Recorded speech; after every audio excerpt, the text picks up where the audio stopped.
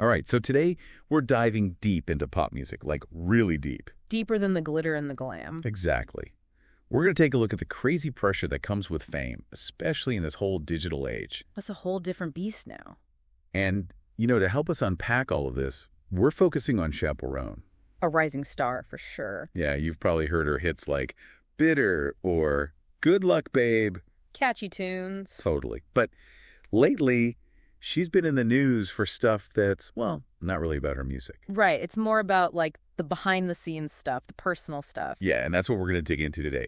We've got this article. It's called Pop Star Showdowns and Red Carpet Realities. Sounds juicy. It is. And it really gets us thinking about what it's really like to be famous, especially Sure. when you're young, and how all that affects like your mental health. Yeah, because we often forget that these celebrities are real people with real feelings. 100%.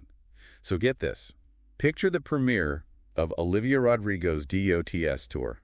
Oh, I can only imagine the excitement, the chaos. Total chaos, cameras flashing everywhere, reporters shoving to get the best spot.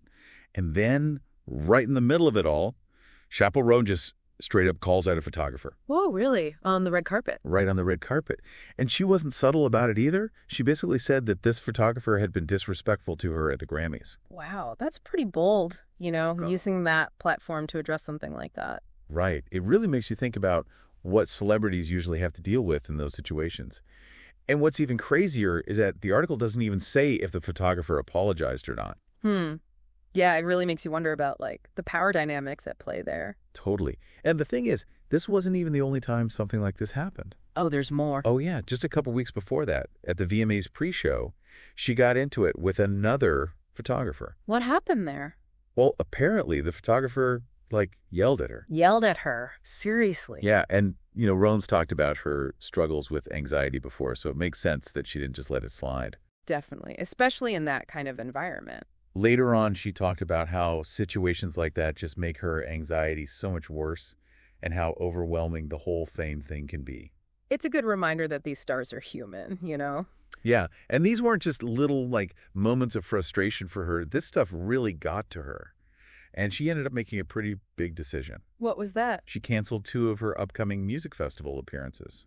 Whoa, really? Yeah, she put up a post on Instagram explaining that she needed to focus on her health, like mental and physical well-being. You know, that's a big deal. It's not easy to just cancel something like that, especially when you're on the rise. It's huge, and the response was incredible. Her fans were so supportive. That's amazing. It really shows how the relationship between artists and fans is changing. Totally. It seems like people are getting tired of this whole fake perfect image thing. They want something real, something relatable, For sure. And Roan being so open about her struggles is inspiring. Especially for young fans dealing with similar stuff in their own lives. Right. So, like, what's the takeaway from all of this?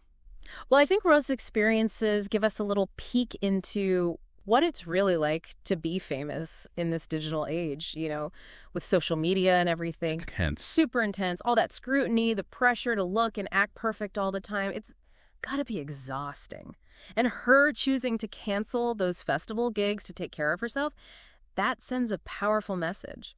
It shows us that maybe, finally, being real is becoming more important than keeping up appearances. that's a good point. And this leads to an interesting question. You know, what does this shift say about what we expect from celebrities now and how we treat them? Like, will we be more supportive of them being open and vulnerable? Those are some things to think about for sure. Definitely a new era for fame. Huge thanks to Chappell Roan for being so open about all this and reminding us that even pop stars are real people with mm. real problems. And we're all human, right? exactly. So go check out her music. It's awesome. And while you're listening, think about how her experiences connect to your own life, you know? It's all about those human connections. All right. That's it for our deep dive today. Until next time. See ya. Yeah. Chappell right in front of you. Chappell right in front, please.